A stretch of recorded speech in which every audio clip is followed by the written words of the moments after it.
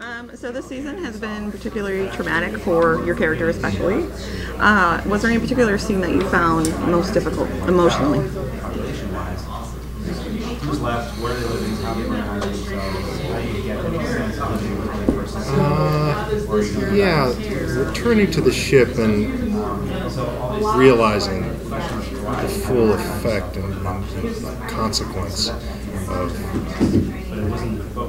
what's basically Slattery's responsibility for leaving. Uh, it's the death of Cruz and uh, Mason and a couple of other characters. That's always uh, hard to portray so that it doesn't become too melodramatic. You want to keep it as real as possible. What would it be like if I really lost you know, a son or a daughter or a colleague? And, um, followers, villains, you got to think of something sad without being sappy. that story that go beyond just fighting. How do you think uh, How do you think Mike would get along with all the other military characters he played, whether it was Independence Day or even Hal Jordan in Justice? Ah. well, Slattery's a stand-up guy. He'll uh, he'll get along with anybody who's honest and uh, courageous, forthright, hard worker. Uh, doesn't suffer fools easily. Well, that becomes a very big focus of So- the next few episodes. They're all kind of friendly inside me. Hopefully, they'll be friendly outside too. These you're gonna They're all mine. Obviously, I mean, your character does have a, a level of responsibility that's um, kind of hard to portray on screen, um, but in doing so has many facets to the personality itself. Um, are there any personality traits of your character that you wish you can kind of embody in yourself, or is it something that you're just drawing from yourself and putting into the character? I try to borrow from those. For this character, I try to borrow from those that I've witnessed in, in person. Some of the officers, and even some of the enlisted uh, men and women, try to just be diligent and honorable as they are. Again, I said in the panel earlier, I don't know if you were there in the panel, uh, what's amazing to me about the Navy, especially, is that you have these gigantic war machines that I'm so glad are on our side, run by 19 to 22 year olds. That's the main, uh, that's the majority of those running these ships and are in charge, and they have critical roles. And uh, I'm just a humble actor. I look at these guys, and they've they've sacrificed. You know, they put their lives on the line to, to go do what they do, so that we can come and play at it. And that's that's just an amazing, amazingly humble feeling. And last question. What is your favorite thing about being on the last show?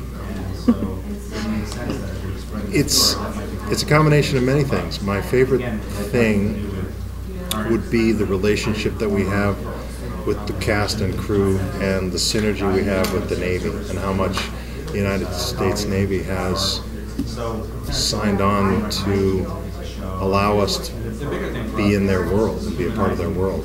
That's it's great. There's nothing like standing on the bridge of a guided missile destroyer at speed with the five-inch gun firing off to the horizon, and it's hitting a tight little grouping of a target 12 miles out. It's, it's pretty great, and and to have them matter-of-factly you know, all ahead, flank, left, roger that, aye, sir, cap, boom. And the way they just are so trained and disciplined, and for us to witness that up close and personal is, uh, it's really an honor of a lifetime. With it being now in the third season, um, how did you guys decide to go in such a different direction and kind of go to Asia, um, which you know is, kind of a controversial topic politically wise? So that's kind of what the decision was. Okay. Um, truthfully, the decision to go to Asia was predicated more on where would it be fun to take the ship. Okay. Uh, where haven't we been? We started at the North Pole almost. We went down across Europe, South, Central America, Coast of America, Mississippi River. It's a big world, and we wanted to choose some place that might have an interesting location and interesting characters and possible different villains. And so it really stemmed from the fun part of storytelling, which is, you know, where do you want to go? The political stuff was back burner for us. You know, uh, as I said in the panel, a lot of times politics and real life catches up to what you're doing, even if you didn't intend it. But for us, it was more about just where would it be fun to go. And as I look to season four, it's the same thing. I think where would it be fun, you know? And then after that, you go into the what if this, what if that, and start telling your story. I understand we're about to see your directorial debut. What was that experience like, and, and would you do it again? Uh, yeah, I directed this coming up episode, episode seven. Uh, it was the greatest experience for me. It was a lot of fun. First of all, I had great help because I had my personal cast and crew and people I've worked with since 2012, and so it's a great level of trust I had for them to get me through the process. And uh, it was great for me to experience firsthand, not just visiting the set or hearing about it, what the crew goes through on a daily basis to make this show happen. So that when I ask them to do things in the future, I know what I'm asking them to do. It's sort of like going into battle with your troops without any of the risk factors that go along with that. It's a, it's a weak metaphor considering, but it's the same idea. If you walk a mile in their shoes, you kind of know what you're asking them to do. And also creatively, it was just very fulfilling because I spent a lot of time in the writer's room playing the parts and picking up the ideas, and, then we, we put them into scripts, and then we talk about what we want, and then someone else executes it. And this was a chance for me to do kind of part of the job to a certain degree, and still rely on the great artists we have working with us. So I'll, I'll, do, I'll do it again if I can. It's all a question of how much time I have. If my writer's room is cranking out stories, I'll, I'll have more time. If we get bogged down, I'll have less time. But I hope you like it. Okay. Uh, watching the show every week, it's, it's basically like watching a one-hour movie. It's it's that huge. Um, do you feel like it's harder to keep up uh, production-wise with you know that high level of quality week to week as opposed to you know like on a feature film basis? Yeah, this is a very challenging show to make. Uh, we we put everything into each episode. Each episode uh, begins with an idea, and we go, can we pull that off? And then it has, then we have scripts, and then we hand it to production, and they say, okay, uh, okay, but then they never say we can't do it. They just say let's try to do it, and then that's where the communication comes in because we're very flexible in the writing staff. If there's a real problem, you can find a creative solution. So rather than coming back and saying we couldn't find you a pirate haven like that looks like this, we found you something like this. Instead of giving up, they give you alternatives, and then I go, I can work with that, and then I rewrite the scripts. You guys know when you rewrite scripts, they, we change the color of the pages, so, so that um, you know what a new page is coming out. So we go from white to blue to yellow, pink, salmon. Every show does it differently. Goldenrod. And then if you go back to white again, after you go through all that, you go double white. And that means you've done a lot of revisions.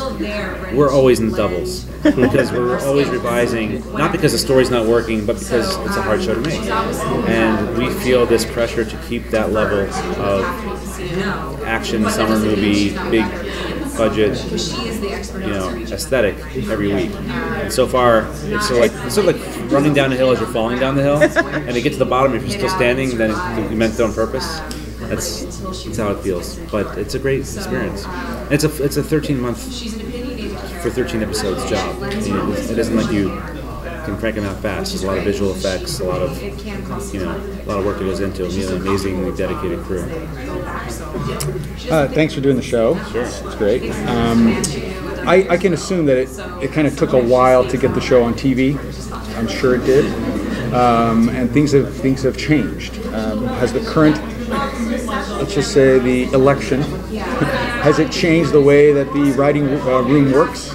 You know, because things could get worse in the real world. Oh. you know, like you know, if you were to kind of how how much of the sensibilities of the current situation are manifested into what you're doing in the writing? I think we, we start off with what we're with our story, and we live in our little bubble. What what makes sense for this world we've created, and if we follow those rules, the audience feels there's a sort of holistic quality to it. It makes sense, and if someone acts a certain way that's different from what the show is, everyone feels it. That applies, by, by the way, to even a, a cop show or a law show. They have their world and they have their rules of, of behaving. If someone does something that's out of character, you feel it. So we deal with our stories. We obviously all live in the world, and so when Ebola hit and we saw the way people were reacting, we were remarking, oh, that's kind of how our characters were reacting, or that's an interesting insight, maybe we can bring that in. So it creeps into our storytelling, but mostly we bring to it our own life experience as it is to say, what if this happened, what if that happened. I was really afraid of viruses for some reason, something you can't see that can make you sick. Cooties, yeah. And so I called up some virologists, and you know, and uh, we said, hey, we have this idea, like this virus is kind of buried in the permafrost, but they're earthworms. It gets released, picked up by migrating birds, and zoonotically jumps to a human being. What do you think? And they go, yeah, it's kind of our worst nightmare. And so I knew we had an idea for a show there. So it's, it really comes from within as opposed to from without. You know, the world's going to be the world, and if you try to react to it or try to guess it, you're just going to end up chasing it. You know, which is not what we're interested in doing. Excellent. Uh, most writers, when starting a show these days, say, yes, we know exactly how it ends. We already Right. have this all mapped out. Do you know where this all ends? No. No, we, we don't because we don't want to write towards it. We want to keep going. If they, if they called me tomorrow and said, this is it, you've got X number of episodes and you're done, whether it's one season, two seasons, then I can start mapping. But even then, you want to keep it organic and free because you never know what you discover as you're writing. So we write ourselves into a corner every week and figure out how to get out of it, and that's the fun. Thanks for the honesty. Yeah, thanks guys. Yeah. It's been a pretty interesting season for you so far. Yeah. Can you give any hints about what's coming up? Um, might get killed if I do that. No, um, I um, I find the show just seems to get like more intense and more high stakes each episode. I'm, uh, thank you. I'm endlessly impressed with what um, the crew manages to do in nine days. The quality of the show. The um, I mean, it's like a summer blockbuster movie every week. Um, I, I find that I, I'm so impressed. Each episode, as we keep moving towards the season finale, it just keeps getting more and more intense. Um, one of my favorite things about the show is Hiro's character Takehaya and his wife Kyoko, who um, are, are now on board the ship, and the show raises the question of, you know, it poses the question of is this villain really a villain? You know, it's not so black and white. You feel for the guy, you understand where he's coming from, and Sasha in particular. Um, because she speaks Japanese, um, develops a relationship with his wife and um, and understands where they're coming from. I find that really interesting. It's not just like a big bad villain up in a tower. You know, there he's he's with us, and uh, that really comes to a head and, throughout the course of uh, the season. Does, does are you suggesting that Sasha sort of not necessarily sides with them, but finds the finds empathy in their, Not just Sasha. in I their mean, situation? Yeah, it's. Um, I mean, if you remember, she's um, pregnant um, and not well. So um, there's a human. A- I mean, that's my favorite thing about the show is the human aspects of um, you know this real humanity in these characters because they're not. These aren't people to run away from danger. All the characters on this show are gonna run towards it. They're gonna they're gonna fight. And so in those rare moments of humanity, and they're not often on the show, but when they are, my God, they're so powerful. Um, they they really ring true because these aren't characters that sit and talk about their feelings and emotions and oh that made me feel sad when you you know that's not what they, this show does you know? So um, I I personally really enjoy those. I mean just as much as I enjoy the action and the um, high intensity of the show but um, yes we're, we, we grow to understand where those characters are coming from which I think is really great writing Um, Sasha has been a like mysterious character um, with her background and her current situation. Is there a side of her that we haven't seen that's going to come out? I actually didn't find her that mysterious when I joined. I found that the fans' response to it really fascinating because um, I, I I found her to be really straightforward. Um, but I understand where they're coming from. This is a violent scary world where people aren't who they say they are. Um, so I, I mean I understand where the fans are coming from, but um, I I personally believe that everything Sasha does um, is in line with the values of the crew of the Ja- Nathan James. Uh, touching on what you said about your character being a little mysterious, uh, obviously there's something going on there with her and the captain. Are we going to uh, find We out? Uh. I, I still have to call him the I know. I still have to call him captain too sometimes.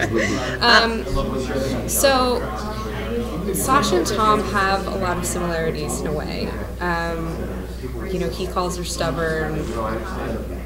She calls him stubborn. You know, they um, they also have. She still thinks of him not as the CNO, not as the captain. She remembers him before he was all these things. So she sometimes talks to him out of turn and not in the manner that she should on board the ship. But um, I like that about her. She's opinionated and, and doesn't hide it. Uh, I find that appealing because she's smart, she's skilled, she knows what she's talking about. She's the expert in this region. So, um,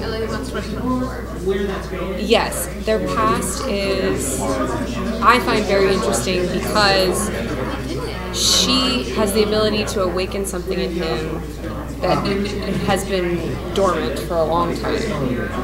Um, and at least from my perspective, it's been very interesting to put these characters in a room together who haven't seen each other in this long and discover that there may still be some feelings there. I mean, they're both they have a lot. They're both widowed. You know, this isn't their ideal situation. You know, but somehow they're back together again, and um, you know, it's it's people are just we're all just trying to do our best and uh, survive.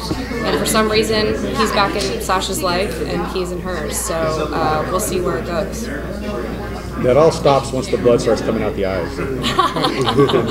yeah, right. but it sounds good. Yeah. Yeah, yeah.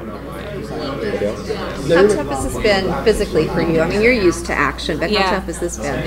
Um, you know, with other shows that I've done, there's been more freedom to do things how I wanted because, and I, it's more of a character choice. Like when I played um, Dottie on Agent Carter, I watched a lot of um, Scarlett Johansson and her stunt double Heidi Moneymaker's work because I wanted there to be some connection between the two, and their movement is very fluid, a lot of spins, a lot of um, range and all that. So I that was the only thing I felt like I needed to get right on Agent Carter, but at the same time, I felt like I could do things how I wanted to. Whereas on this show, I want to get it right. We have actual SEALs on set with us, and there is a right way and a wrong way to do a lot of this. There's still a lot of, you know, some people like, you know, one military advisor might tell me that my the, the, the gun needs to be here. Another one will tell me needs to be here. So there is some personal preference in it all, but overall, there is um, very formalized training, and um, I certainly want to get it right. Have you gotten actual reaction from real military personnel about? Well, plenty on set. You know, we've had. But I mean, like from, from viewers who are saying, A "Wow, you guys really bit. nail it," or Um, I know that I know that everyone, you know, will have their opinion about the show, but I haven't seen I haven't seen much of it. But I, um, you know, in some ways, Sasha's kind of similar to Tex in, in the manner that she's not in a uniform. She's not. She's former naval intelligence, and she's um, she is. She does kind of go to the beat to drum, but at the same time. Um, she's willing to fall in line with the crew and go um, on, you know, in, in formation with them. But uh, I would love to get some feedback. I hope we're doing them proud. Yeah.